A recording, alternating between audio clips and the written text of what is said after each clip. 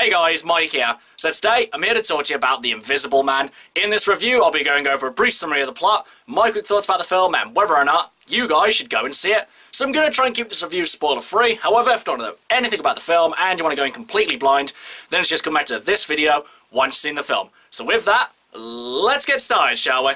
There you are.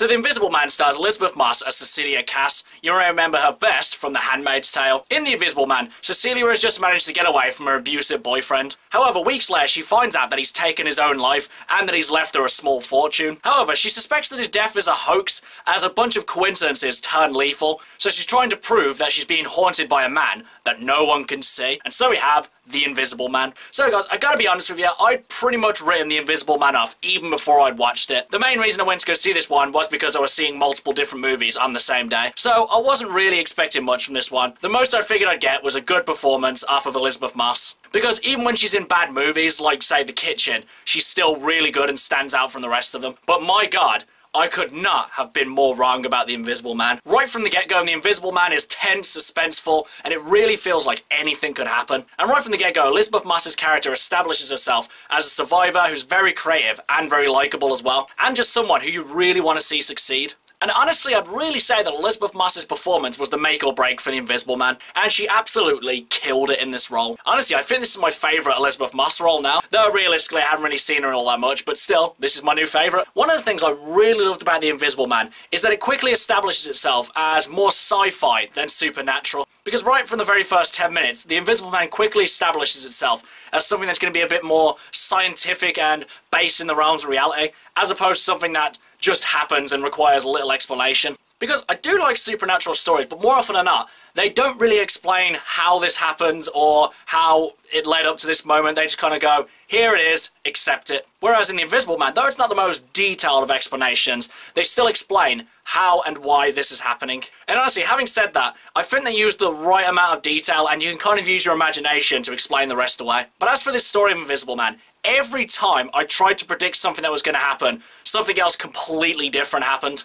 Sometimes it's a slight shift in tone, sometimes it's a character being where they're not supposed to be, or it's just a completely different direction from which I thought it was going to go. The Invisible Man always kept me guessing. That's something I really loved about it. And obviously, this being a horror movie, there's going to be a lot of jump scares. But actually, to be fair, I quite like the jump scares in The Invisible Man because they're very far in between and they always feel purposeful. Because more often than not in horror movies, they just put in a jump scare for the sake of having a jump scare. Whereas in The Invisible Man, because the story's so interesting and you're so invested in the characters, all of the jump scares feel earned. But having said that as well, The Invisible Man didn't really actually need any jump scares because there's always this eerie tension surrounding the whole film that just never goes away. And though there's very little action in this film, all of the action that's in it is shot stupendously. You can see everything that was going on, and they employed quite a lot of interesting camera techniques. And after looking up details about this film, I'd found out something that really blew me away and made me love this film even more. Because the person who wrote and directed The Invisible Man is Leigh Whannell, who wrote and directed one of my all-time favourite action movies, Upgrade. Honestly, if you haven't seen Upgrade, go watch Upgrade right now. It'll blow you away. And you can definitely tell the person who made that also made this as well. So clearly he knows his action, but what about his horror? Well, he's also one of the people who created the Saw franchise. So pretty much from the get-go, you've got a writer who knows how to do sci-fi, horror, and action all in one film. Honestly, I'd say the only bit that kind of lost me in The Invisible Man is towards the end where there's a bit of a leap of logic. It's nothing so bad that it ruins the whole movie and makes the whole thing feel pointless or that it doesn't make sense.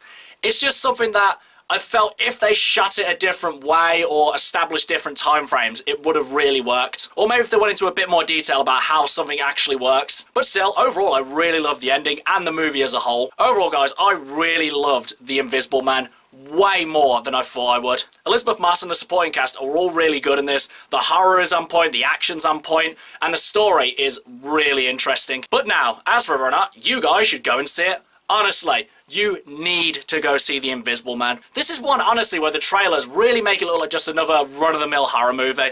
But honestly, The Invisible Man is so much more than that, and this is definitely one that you guys need to see. Okay guys, that's my review of The Invisible Man. If you've seen it, what did you think about it? And what's your favourite Elisabeth Moss performance? Whatever it is, drop it in the comments below. Until next time, I've been Michael. See ya!